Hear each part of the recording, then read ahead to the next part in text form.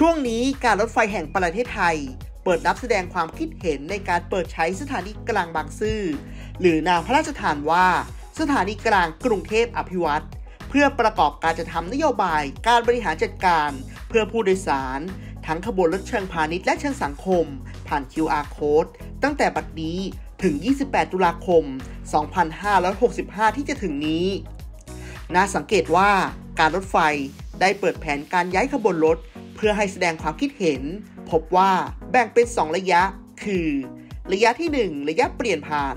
จะย้ายสถานีต้นทางและปลายทาง ขบวนรถด่วนพิเศษ รถด่วน และรถเร็วทุกสาย ยกเว้นสายตะวันออก จากสถานีกรุงเทพหรือหัวลำโพง เป็นสถานีกรุงเทพอภิวัตรส่วนขบวนรถชานเมือง รถธรรมดา และรถนำเที่ยว ทุกสายให้บริการที่สถานีกรุงเทพหรือหัวลำโพงเช่นเดิม พร้อมกันนี้ ยังปรับเส้นทางวิ่งสายเหนือและสายอีสาน ไปใช้ทางวิ่งยกระดับ โดยรับส่งผู้โดยสารเหลือ 3 สถานี ได้แก่ สถานีกรุงเทพอภิวัตรสถานีดอนเมือง สถานีรังสิต ยกเลิกสถานีระดับดิน บางเขน หลักสี่และที่อยู่รถต่างๆ ระยะที่ 2 เมื่อมีการก่อสร้างโครงการ Missing Link ช่วงบางซื่อหัวลำโพง และบางซื่อหัวหมาก จะปรับเปลี่ยนขบวนรถธรรมดา และรถด่วนพิเศษสายตะวันออก จากสถานีกรุงเทพหรือหัวลำโพง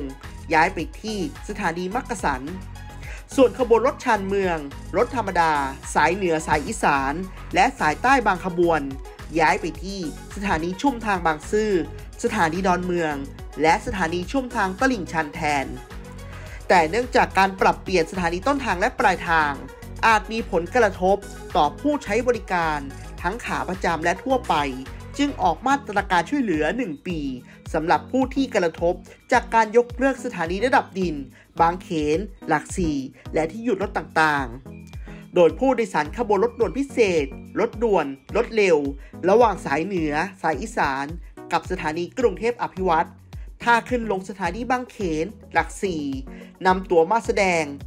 เพื่อขึ้นรถไฟฟ้าสายสีแดงได้ฟรี โดยไม่เสียค่าใช้จ่าย แต่ตัวที่ระบุสถานีดอนเมืองกับลังสิตจะไม่สามารถใช้ได้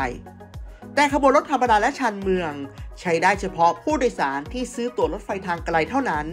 โดยจะมีช่องทางพิเศษ และมีเจ้าหน้าที่ตรวจสอบตัวโดยสาร ทั้งขาเข้าและขาออก โดยจะไม่มีการขายตั๋วรถไฟทางไกล ที่สถานีจตุจักร วัดเสมียนนาลี บางเขน ทุ่งสองห้อง หลักสี่และการเคหะ ต้องซื้อผ่านแอปดีทิเกต หรือใช้ตั๋วรายเดือนเท่านั้น ขณะที่ชาวเน็ต เสียงสะท้อนส่วนใหญ่ยังคงให้รถไฟ มีต้นทางที่สถานีหัวลำโพง เป็นทางเลือกผู้มีรายได้น้อย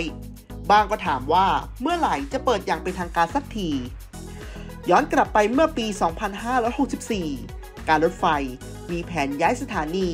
โดยปรับลดขบวนรถเข้าสถานีหัวลำโพง เหลือ 22 ขบวน แต่ต่อมาได้หักดิบ โดยรถไฟเข้าหัวลำโพงต้องเป็นศูนย์ทำให้ฝ่ายที่ไม่เห็นด้วยต่อต้าน เห็นว่าผลักภาระประชาชน ถ้าจะหยุดให้บริการที่หัวลำโพงจริง ควรสอบถามกันก่อน สุดท้ายจึงได้เลื่อนออกไป และรับฟังความคิดเห็นทุกมิติ นับจากนี้สถานีรถไฟหัวลำโพง อนาคตจะเป็นอย่างไร สถานีกลางบางซื่อที่ใช้งบก่อสร้างนับหมื่นล้านบาท จะเป็นศูนย์กลางขนส่งทางรางได้อย่างแท้จริงหรือไม่ เป็นเรื่องที่ประชาชนทุกคนจะต้องช่วยกันตัดสินใจ